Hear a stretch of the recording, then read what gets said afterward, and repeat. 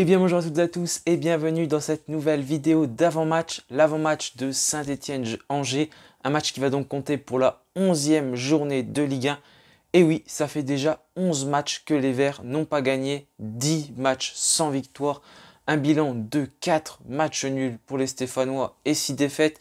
Il va falloir commencer à rééquilibrer les débats en gagnant la prochaine rencontre et c'est très important de prendre des points pour ne pas se faire distancer car pour l'instant nous sommes 20e au classement avec la pire défense et la pire attaque. C'est donc un bilan catastrophique depuis le début de la saison.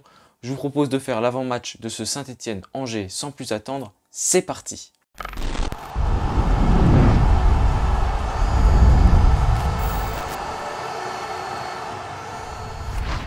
Donc voilà, ce match contre Angers va donc être très important pour les Verts. Et pour ce match, ils pourront compter sur certainement quelques retours. Ramirez, qui n'a pas joué contre Strasbourg, qui n'était même pas dans le groupe, devrait être de, retour. Aymen Mouefek, qui était lui de retour contre Strasbourg, était dans le groupe, mais il n'est pas entré en jeu, devrait donc pouvoir jouer sur ce match. Et vous verrez dans ma composition que j'aimerais le voir débuter. Je l'ai donc mis à un poste qui est le poste de latéral droit si Masson ne revient pas. Ensuite, il y a Miguel Trauco qui était de retour de sélection contre Strasbourg et qui n'a pas pu jouer, qui devrait donc pouvoir disputer ce match. Et au niveau des incertitudes, Timothée Kolodziejczak n'apparaît pas sur les photos d'entraînement. On peut donc se demander s'il sera là euh, contre Angers ce vendredi. Ensuite, Étienne Green qui est sorti sur blessure après un coup qu'il a reçu d'ailleurs. C'était Timothée Kolodziejczak, c'est donc euh, notre cher Stéphane Bajic qui avait pris sa place lors du dernier match contre Strasbourg. Est-ce qu'Etienne Green pourra garder nos cages ce week-end? C'est pareil, on a pas mal d'incertitudes. Et enfin, Ivan Masson, est-ce qu'il sera là durant ce match? C'est peut-être également une incertitude, lui qui est absent depuis plusieurs journées à cause d'une douleur reçue au tendon d'Achille au niveau du mollet. C'est donc pour ça que Ivan Masson n'est pas là et il nous manque beaucoup dans notre effectif, lui qui avait déjà manqué la plupart de la saison dernière à cause de sa blessure au niveau des ligaments croisés. C'est donc voilà quelques joueurs qui pourraient revenir du côté de Saint-Etienne, également quelques absents, notamment avec peut-être Etienne Green et Timothée Koudjezak à noter. On verra en tous les cas ce que va dire Claude Puel dans sa conférence de presse. Bah, à l'heure où je tourne cette vidéo, la conférence de presse n'a pas encore eu lieu.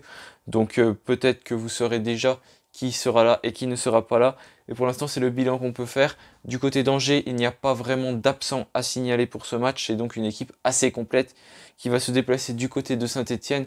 Angers qui surprend un peu tout le monde cette année au classement puisqu'il se classe à la place de 5e alors que les Verts sont 20e. Pour le moment, le bilan angevin, c'est 4 victoires, 4 nuls et 2 défaites, 15 buts marqués et 11 buts encaissés.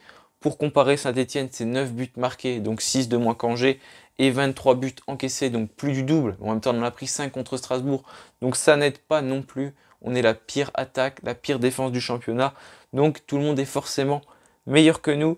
Mais pourtant, Angers n'a pas un bilan si incroyable que ça sur ces 5 derniers matchs. C'est une défaite tout d'abord euh, lors de ces 5 derniers matchs, c'était contre Nantes, une défaite sur le score de 4 buts à 1, donc c'est pareil, un très très gros score. Ensuite, ils ont fait deux matchs nuls consécutifs. Un match nul face à 3 qui s'est terminé par un score de 1 but partout. Ensuite, c'était contre l'OM, un 0-0. Leur dernière victoire, c'était l'avant-dernière journée de Ligue 1. Et c'était un concurrent pour le maintien, notamment pour les Verts, c'était Metz. Une victoire sur le score de 3 buts à 2 pour les Angevins. Donc on voit qu'ils ont quand même contre cette équipe de Metz que l'on affrontera lors du prochain match. Nous, ce sera lors de la 12e journée de Ligue 1 qu'on va se déplacer du côté du stade Saint-Symphorien. Et enfin, leur dernière défaite, c'était contre le Paris Saint-Germain. Mais il y a eu des faits de jeu, notamment ce penalty qui a été accordé à Kylian Mbappé, où les Parisiens se sont, se sont imposés donc sur le score de 2 buts à 1. Donc on voit que le bilan angevin n'est pas non plus si satisfaisant que ça, même s'ils sont 5e de Ligue 1, il ne faut pas l'oublier. Mais voilà, leurs derniers matchs ne sont pas non plus impériales et on peut réussir à faire quelque chose, même si bien évidemment on sait que pour les Saint-Etienne, c'est compliqué de battre tout le monde, on peine vraiment, on n'arrive même pas à battre ceux qui semblent à notre portée. Mais bon, il va falloir prendre des points. On à domicile, c'est impératif. 20 000 supporters sont attendus du côté du stade Geoffroy Guichard. Une influence qui n'est pas exceptionnelle, mais en même temps, on est 20e de Ligue 1. Les Verts perdent match sur match. Euh, également, euh, voilà, l'horaire, euh, c'est pas le meilleur horaire à 20h45. Et 20 000 personnes, je trouve que c'est déjà pas mal. Pas beaucoup de clubs en Ligue 1 feraient une influence aussi bonne quand le club va mal. Donc voilà pour ce match. Attention, il y a plusieurs joueurs qui sont sous le coup d'une suspension en cas de carton jaune, notamment Etienne Green qui est en sursis après son carton rouge contre Monaco. Masson, s'il est de retour, pourrait également manquer les prochaines, une des prochaines rencontres s'il se prend un carton jaune. Il y a également Wabi Kazri, Madi Kamara, Lucas Gourna. Voilà, on remarque quand même qu'il y a pas mal de joueurs. Il y a même également Denis Bonga qui peuvent être sous le coup d'une suspension si jamais ils se prennent un carton jaune. Donc il va falloir faire très très attention et ne pas faire n'importe quoi durant ce match pour ne pas euh, manquer la prochaine rencontre. Car même si euh, les joueurs ne sont pas forcément très bons en ce moment, c'est quand même des grosses absences si un de ces joueurs venait à manquer pour la prochaine rencontre. Donc voilà, au niveau de ma composition, j'ai voulu faire quelque chose d'un petit peu original, on va dire.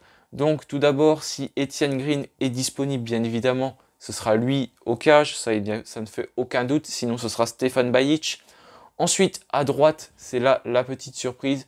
Je voudrais mettre Aymen Mouefek si Masson n'est pas de retour.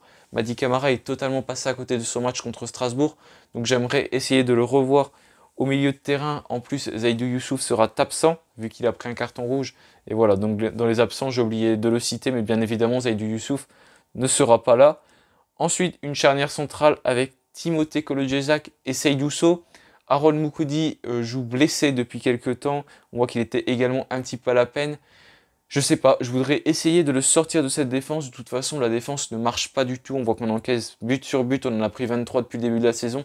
Donc il faut essayer de refaire des choix et pourquoi pas tenter une défense centrale avec Timothée Kolodjizak et Seydouso, même si on sait que Timothée Kolodjizak est assez catastrophique.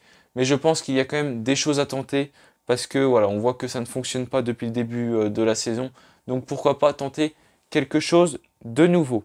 Ensuite, à gauche, je voudrais revoir Miguel Trauco. Miguel Trauco qui nous manque beaucoup. Là, il est parti à cause de la trêve internationale. Il pourrait être de retour. Donc j'aimerais vraiment revoir Miguel Trauco à son poste de latéral gauche. Je trouve que c'est un des joueurs les plus réguliers et qui apporte le plus, notamment sur le plan offensif. Ensuite, le milieu de terrain, ce sera donc Madi Camara et Neyou.